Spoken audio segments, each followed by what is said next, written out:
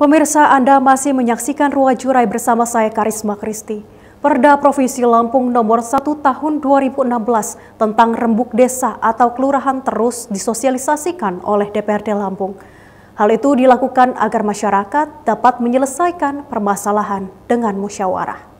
Guna menyelesaikan masalah dengan cara musyawarah, anggota DPRD Lampung Apriliate kembali mensosialisasikan peraturan daerah tentang rembuk desa atau kelurahan kepada warga Kelurahan Kedaung, Kecamatan Kemiling, Bandar Lampung.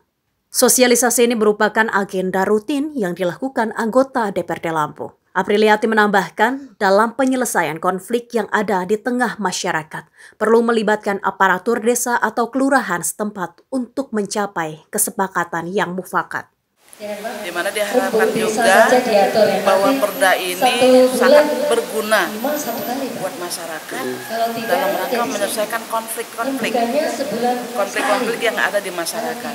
Jadi jangan sedikit-sedikit mau dibawa ke proses hukum, mau lapor polisi, selesaikan secara musyawarah di tingkat internal RT, internal desa atau kelurahan, sehingga bisa menekan jumlah perkara.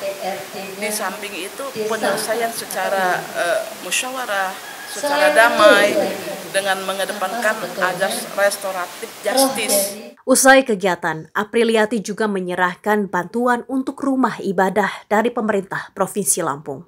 Dari Bandar Lampung, Andi Apriyadi, Metro TV Lampung.